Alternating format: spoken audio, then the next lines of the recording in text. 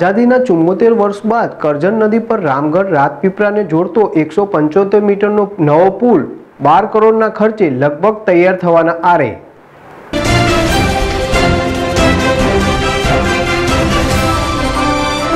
લોકડાઉનના કારણે અટકેલા નાના મોટા કામો જેવા કે ચોમાસા પહેલા માટી પુરાણ, પેરાફીટ અને પુલના બંને છેડાના રસ્તા બનાવવાની કામગીરી ઝડપથી પૂર્ણ કરવાની માંગ ગ્રામજનોએ કરી છે. કરજણ કિનારા સામા દસથી વધુ ગામોમાંથી રાજપીપળામાં ભણવા આવતા અસંખ્ય બાળકો રોજગારી માટે મજૂરી કામે આવતા લોકોને સિઝનમાં નદી ઓરંગીને જીવના જોખમે રાજપીપળા આવવું પડતું હતું.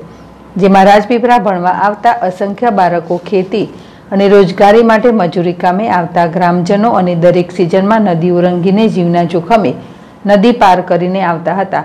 ખાસ કરીને ચોમાસામાં રસ્તો, કરજણ નદીના પુલના કારણે બંધ થઈ જતા હતો અને જેના કારણે સેંકડો ગ્રામજનોને જાનના જોખમે કાં તો નદી તરીને સામે પાર રાજપીપળા આવવું પડતું હતું. કાં તો આઠ કિલોમીટરનો ફેરા ફરીને રાજપીપળા આવવું પડતું હતું. ગામમાં બસ આવતી ન હોવાથી આઠથી દસ કિલોમીટર પગપારા ચાલીને આવવું પડતું હતું. આ સમસ્યાના નિવારણ માટે અંદાજે બાર કરોડના ખર્ચે રામગઢ રાજપીપળાનો પુલ બનાવવા સરકારે મંજૂર કરતા યુદ્ધના ધોરણે ફૂલનું કામકાજ ધમધમતું હતું, જે લગભગ હવે પૂર્ણતાને આરે આવી ગયું છે.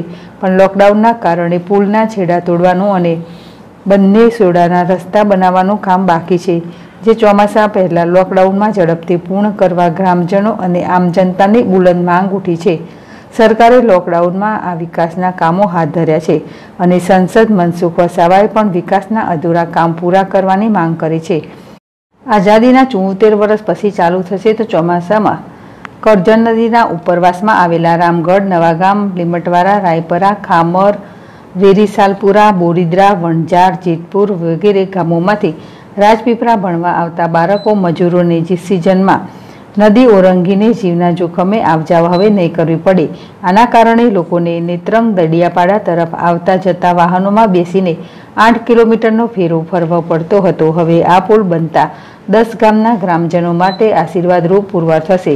આ અંગે રામગઢના ગ્રામજન સજવાભાઈ વસાવાએ જણાવ્યું હતું કે કરજણ ડેમમાંથી પાણી છોડવામાં આવતા વારંવાર પુલને કારણે ચાલુ કામે ઘણું નુકસાન વેઠવું પડ્યું છે. તાજેતરમાં આગામી થોડા દિવસોમાં ચોમાસાની સિઝન આવનાર છે. હાલ કોરોના વાયરસના કારણે હોરી પછી આ પુલનું બાંધકામ સદંતર બંધ છે.